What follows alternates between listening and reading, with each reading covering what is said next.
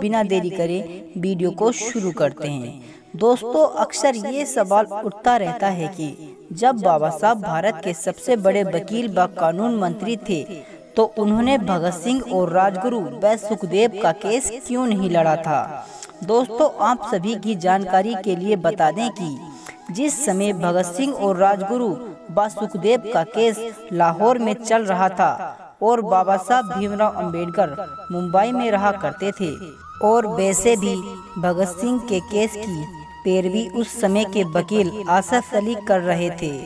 23 मार्च 1931 का वो दिन जब इन तीन महापुरुषों को फांसी दी गई थी।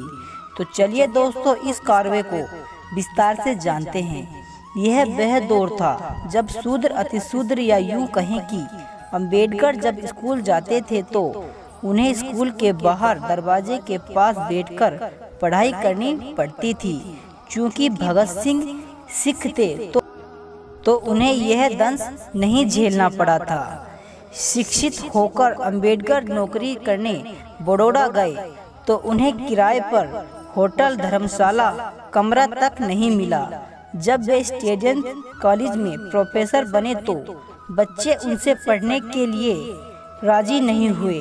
ऐसे में जून 1923 से अंबेडकर ने वकालत का काम शुरू किया। उन्हें बार काउंसिल में बैठने के लिए जगह नहीं दी गई।